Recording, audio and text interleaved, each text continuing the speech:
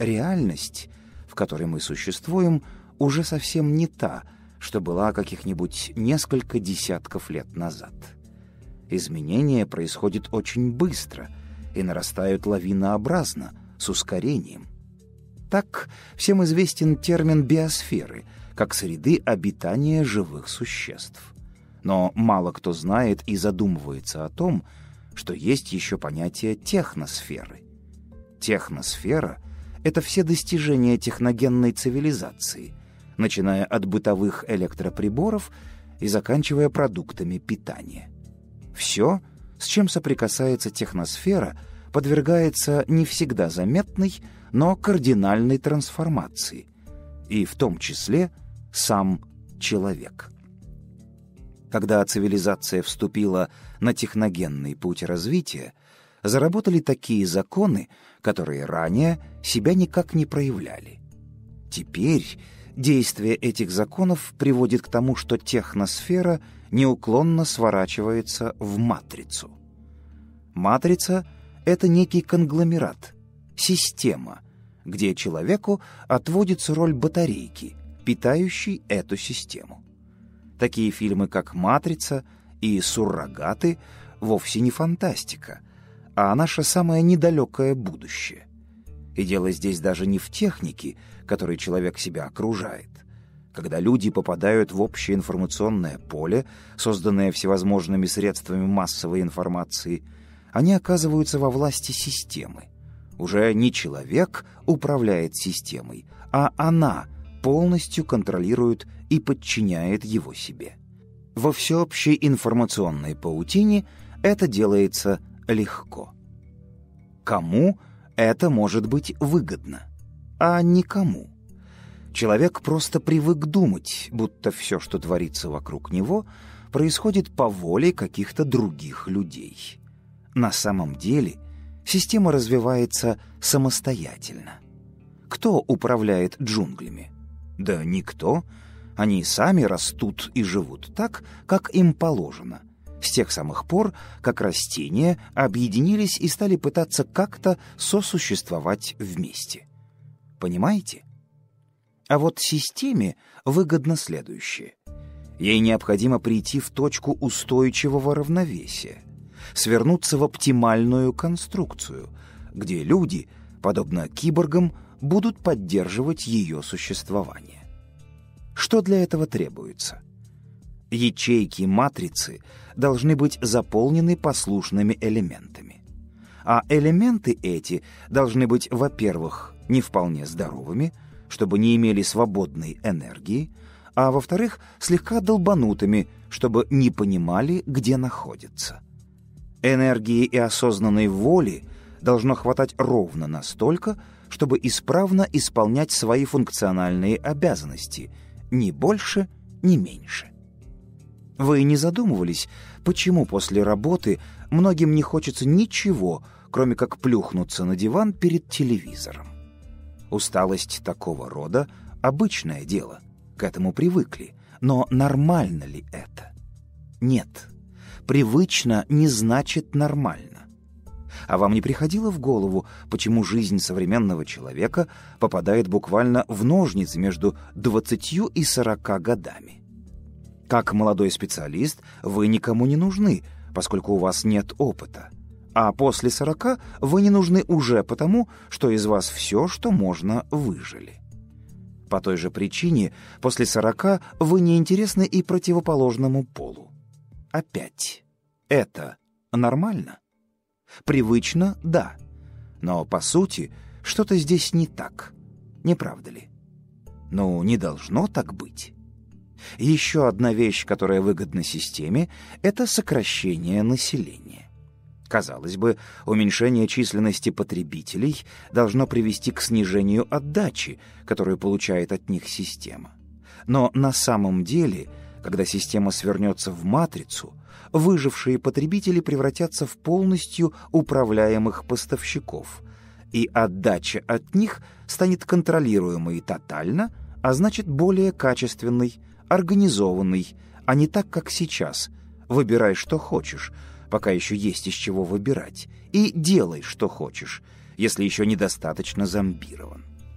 Вот в этом и состоит цель и смысл подобной свертки. И снова вопрос, стоит ли кто-нибудь за всем этим? Сейчас модно обсуждать туманные слухи о некоем мировом правительстве, известном также как Бильдельбергский клуб, в который входят самые богатые и влиятельные люди планеты. Но это лишь уловка системы для отвода внимания. Многие наивно полагают, что стоит устранить эту горстку выскочек, которые тайно задумали подчинить себе все население Земли, и проблема решится. Ничего подобного.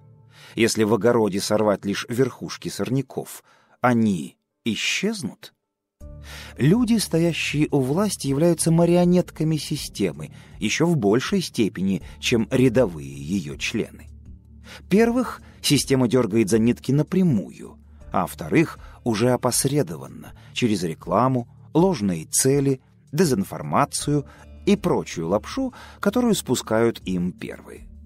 В современном обществе не бывает так, что кто-то задумал что-то глобальное, например, развязать войну, а затем осуществил это по самоличному плану. Банкир не сможет профинансировать такое дорогое удовольствие, если к власти не прорвется подходящая группировка.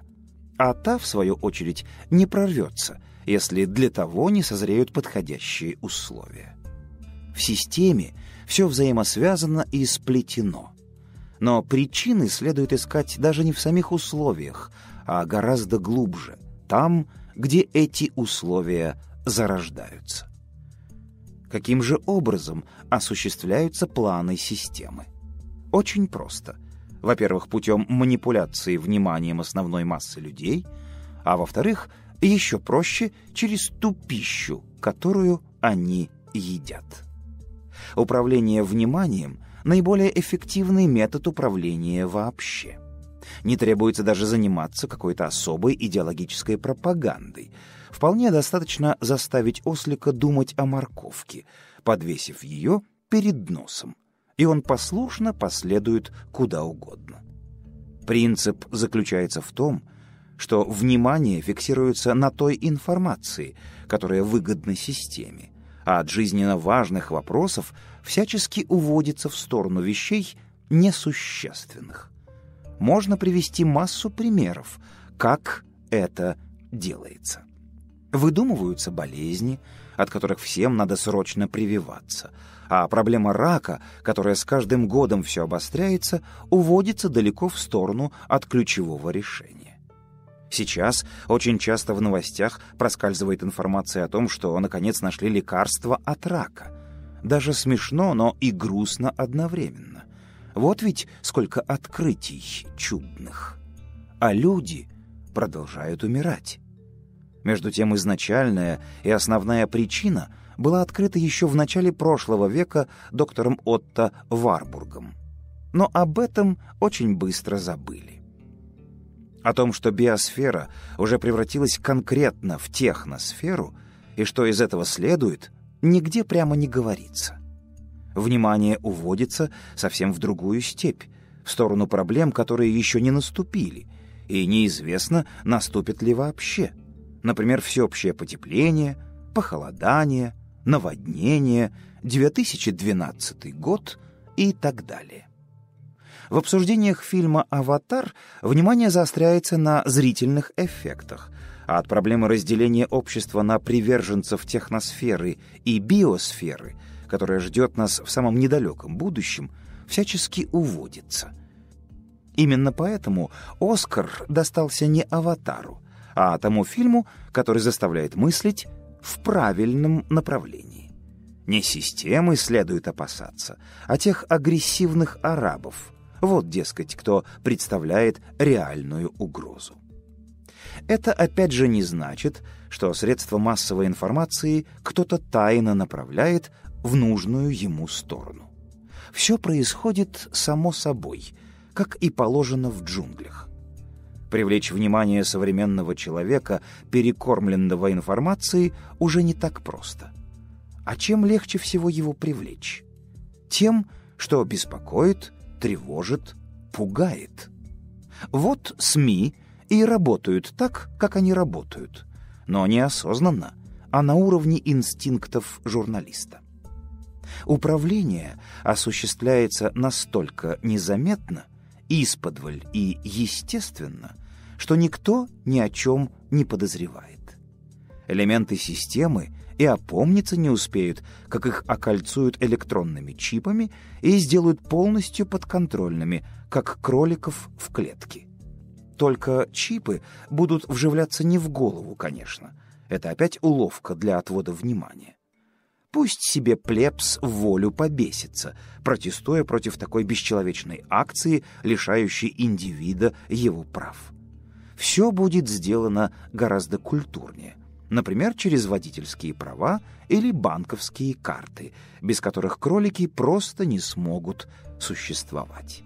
Им доходчиво объяснят, что это ради их же блага, удобства и безопасности и подавляющее большинство, как всегда, поверит во всю эту лабуду, что им впихивают, и послушно согласятся. А противников этой акции будут потом дружно поливать грязью, как уродов и отщепенцев. Казалось бы, с информацией все более-менее понятно. А пища здесь при чем? Неужели с ее помощью можно управлять? Да легко. То, что в человека входит непосредственно, то и является тем самым крючком, за который его потом можно повесить куда угодно, как тряпичную куклу. И одновременно такой способ управления оказывается настолько естественным и завуалированным, что кукла ничего не замечает и думает, будто все идет нормально, как надо. Бертран Рассел, английский философ и пацифист, уже давно писал о том, что с помощью особого питания и лечения в кавычках препаратами вполне реально создать такой тип людей, которые будут так же послушны, как овцы в стаде. Вот конкретный пример. Американское правительство в 1974 году провозгласило задачу сокращения населения в странах третьего мира вопросом национальной безопасности. Каким же образом предполагалось осуществлять такую политику? Госсекретарь Киссинджер в меморандуме национальной безопасности США прямо рекомендовал, наряду с провоцированием войн, использование продуктов питания в качестве инструмента для сокращения населения. Киссинджер был весьма неглупым человеком, возглавившим список ста ведущих интеллектуалов мира. Хотя почему был? Он и по сей день жив-здоров, ему 86 лет, поскольку питается он не тем, что рекомендовал для остальных, лишних людей на нашей планете. Он же лауреат Нобелевской премии мира, как и нынешний президент. Система знает, кому полагается давать такие премии. Он же член Бильдельбергского клуба. Так вот, он прекрасно понимал, что общество зомбированных батареек с легкостью поведется на рекламу матричного корма. А тех немногих, кто проснется и сообразит, в какую мышеловку их заманивают, это общество будет выставлять насмех и всячески опускать. Еще задолго до этого меморандума система закономерно породила такое течение, как Евгеника, идея расовой гигиены и сокращения численности народонаселения.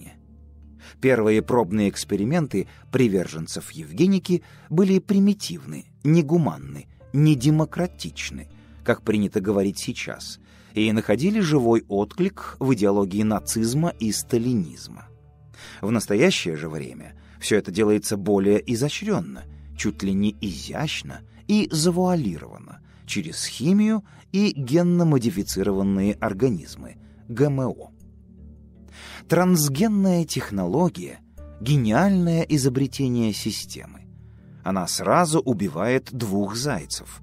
Это одновременно и средство сокращения населения, и средство подрыва продовольственной безопасности отдельных стран, потому что семена модифицированных растений уже не прорастают, а, следовательно, банк семян всегда находится в руках корпораций.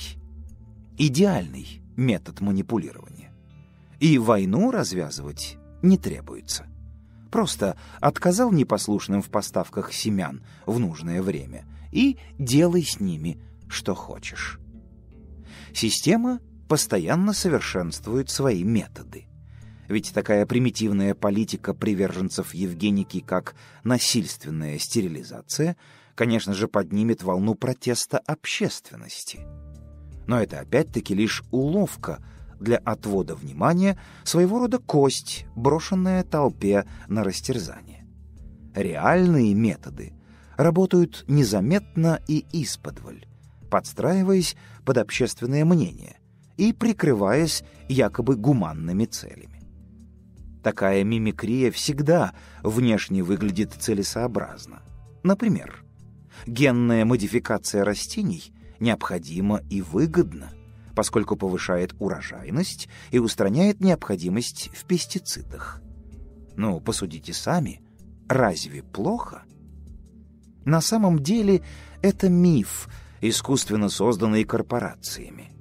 Факты говорят о том, что урожайность трансгенных растений гораздо ниже, а вместо прежних вредителей и сорняков появляются другие, которые ничего не боятся и для которых нужно изобретать уже новые пестициды. На полях генно-модифицированной сои стоит мертвая тишина. Не слышно ни пения птиц, ни жужжания насекомых. Не наблюдается вообще никакого движения жизни — как будто эти растения из пластика. Но тем, кто всего этого не видел, есть колбасу совсем не страшно. Они даже не догадываются, что ингредиенты из ГМО добавляются уже практически во все виды пищи. В полуфабрикаты, колбасные, кондитерские, молочные изделия. В хлопья, шоколад, майонезы, соусы, напитки. Во всю матричную еду, которую можно найти в супермаркете. Не стесняются даже в детское питание добавлять. Но об этом мало кто осведомлен, потому что вся информация тщательно скрывается. Вас это удивляет? Уже давно пора перестать удивляться. Реальное положение дел — наглая и циничная жесть в сравнении с той сладкой патокой, которая стекает с экранов телевизоров. Вы можете спросить, что, и никаких исследований не проводится? А как же проводится по заказу корпораций, производящих ГМО? Результаты таких исследований, как очевидно, бодры и веселы. Трансгены абсолютно безвредны. Наверное, сейчас наемные ученые трудятся над тем, чтобы доказать, что они еще и весьма полезны. Единственное независимое исследование проводилось доктором биологии Ириной Ермаковой, но вскоре было поспешно закрыто, потому что привело к шокирующим выводам. В США даже приняты законы, один из которых запрещает выращивать фрукты и овощи на своем подворье, а другой запрещает снабжение продуктов, содержащих ГМО, соответствующей маркировкой. То есть люди уже фактически лишены возможности выбора. Ешь, что дают, и помалкивай. Звучит дико, не правда ли? Страны Европейского Союза пока что в этом отношении сильно отстают. А вот мы Америку очень скоро догоним. То, что не едят в Европе, сваливают нам, как в помойку. В наших супермаркетах вы никак не сможете определить, содержит продукт ГМО или нет, потому что депутаты, а они самые послушные и преданные элементы системы, не только решительно отказались от рассмотрения этого вопроса, но и вообще сертификацию товаров отменили. Самое интересное — то, что политика правительства США или мирового правительства, называйте как хотите — направленная против стран третьего мира, обернулась непредвиденными последствиями для самих же США. Треть Америки уже бесплодна. Вы думаете, от чего они так забеспокоились, когда процедуру усыновления российских детей американскими семьями приостановили? Еще треть Америки страдает непомерным ожирением. А ведь каких-нибудь 30 лет назад это была бегающая нация — помешанная на органических натуральных продуктах. И опять же, треть сидит на антидепрессантах. Вот такая простая и наглядная статистика. И все кругом наивно и беспечно полагают, что это типа нормально. Никого не удивляет, что синдром хронической усталости и стресса превратился в норму жизни современного человека. И это тоже нормально. Ничего не происходит. Да? Откуда же взялись такие разительные перемены? Что, биопродукты уже никого не интересуют? Причина очень проста. Мертвая, синтетическая пища, особенно фастфуд, получивший в Америке наибольшее распространение, вызывает привыкание, ничем принципиально не отличающееся от наркотического. Все население Земли уже состоит из закоренелых пищеголиков. Помните сказку о Синдбаде-мореходе? Однажды путешественники прибыли в страну, где местные жители их встретили очень радушно и принялись кормить вкусной едой. Путешественники ели эту пищу в течение многих дней, и постепенно их тела превратились в толстые туши, а сознание помутнело. Они перестали объективно оценивать реальность. Как оказалось, их кормили на убой. Я не прекращаю повторять, что сказок и фантастики не бывает.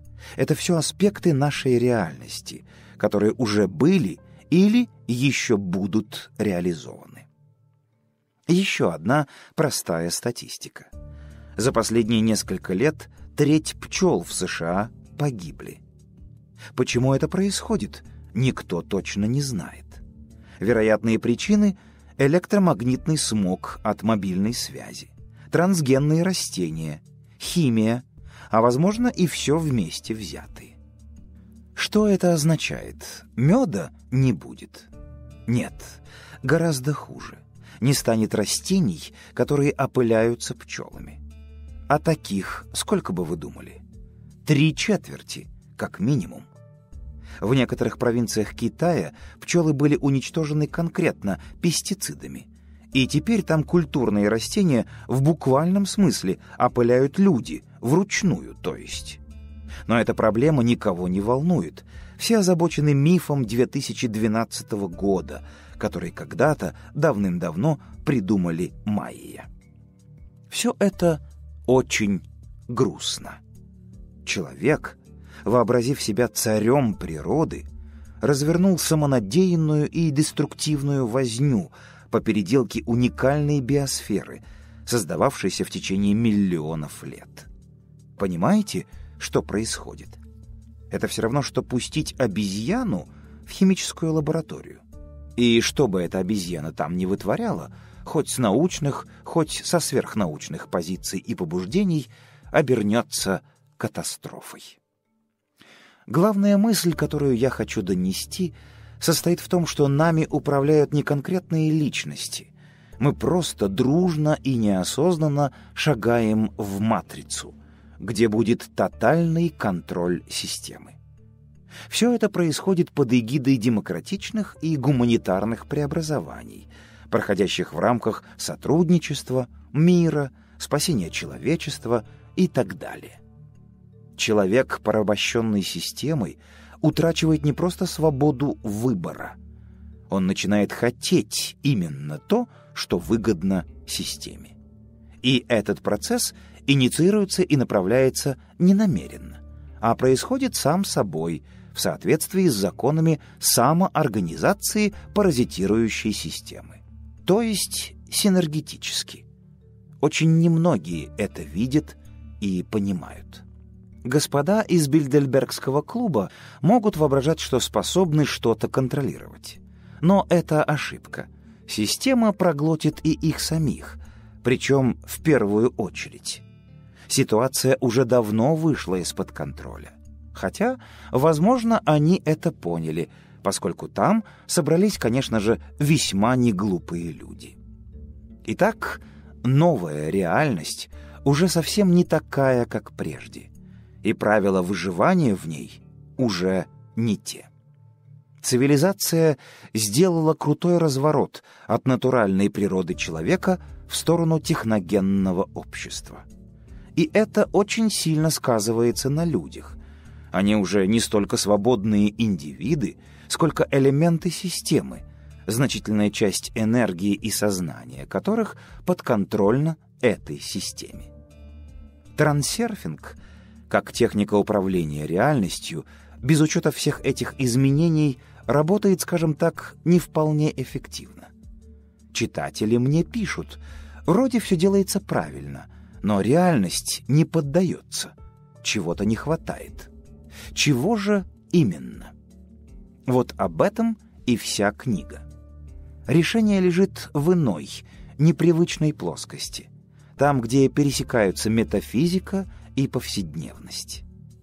Для того, чтобы увидеть и понять то, что постоянно ускользает от логического объяснения, необходимо сперва буквально физически очистить сознание и восприятие, а также освободиться от ментальных шаблонов, которые навязывает нам социум.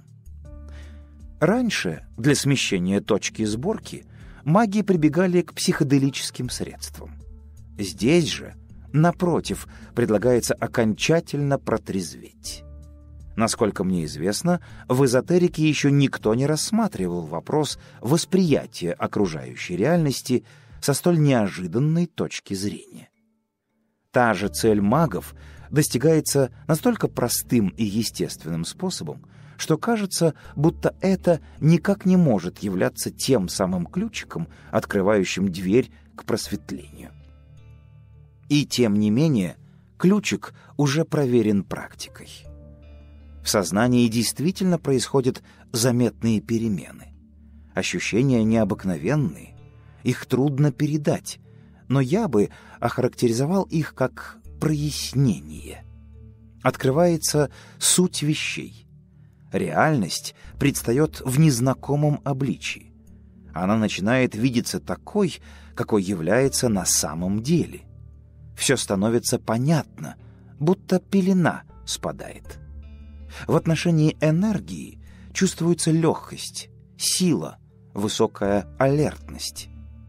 Многие из моих читателей уже испытали предложенные методики на своем опыте – и все в один голос подтверждают, что с ними происходит то же самое.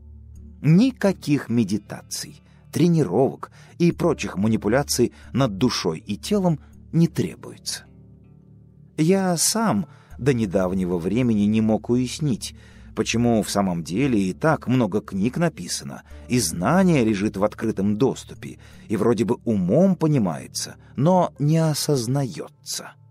Ведь понять и осознать — это совершенно разные вещи. Оказывается, все достаточно просто. Для того, чтобы выйти из оцепенения, необходимо просто прекратить глотать таблетки, которыми тебя пичкают. И вот тогда происходит действительно нечто необыкновенное.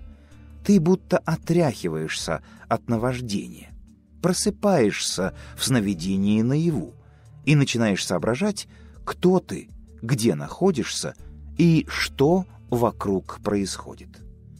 Что это за таблетки, вы скоро узнаете. А пока попытаемся взглянуть на вопросы уже знакомые, с другой, нетривиальной точки зрения.